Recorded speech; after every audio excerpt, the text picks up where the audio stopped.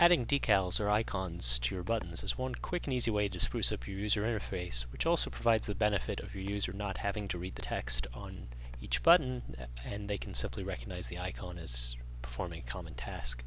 So to do this in LabVIEW, just right click, um, we'll add a boolean button. I like to use the system ones when I'm developing for Windows machines, just because they, they look more familiar for users. If I right click and go to advanced and then customize, it'll bring up the control editor. And that now we need to import the actual icon that we're going to use. You can find lots of free icon sets available online. I've already saved one to my hard drive, so I'm going to go to edit and import picture to clipboard. You'll see here are some of the icons I've already saved. I'll pick the printer. You'll notice I'm using the PNG file format. Um, one of the nice things about PNG is that they have transparencies, and this method of going edit, import to clipboard allows LabVIEW to preserve that transparency. So now that I've imported it to clipboard, I right click on the button and go import picture from clipboard and tell it to use it as the decal. And you'll see there that my, um, or right here, that the printer decal has gone behind the text. Now that isn't too useful in this use case because now you can't read the text.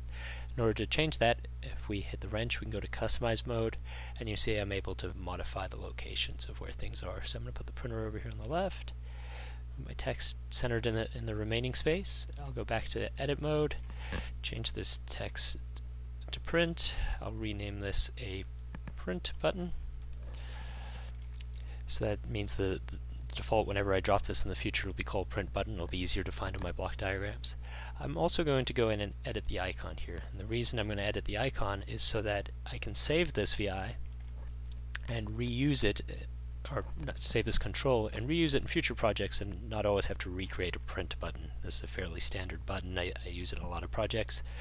So when I save this, I'm going to save it in a specific folder, namely uh, program files, I'm sorry, program files, national instruments, LabVIEW, and then user.lib, and you'll see I've actually already done this before, so I'll replace that existing file. When I close it, it'll replace the one in my front panel, but now, uh, after a restart of LabVIEW, you'd be able to come down to user controls and see your system button already there. Uh, I think that was off the screen, so I'll do it again for you to see it. Here's my system print button, and I can reuse it just like any of the other built-in controls in LabVIEW. So that's how you add an icon or a decal to a system button in LabVIEW and then save it for future use.